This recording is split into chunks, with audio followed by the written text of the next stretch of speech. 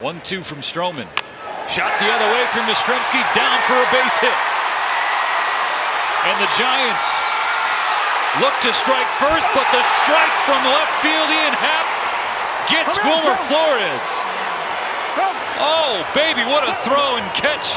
And tag applied by Contreras. One more look. It remains scoreless in SF.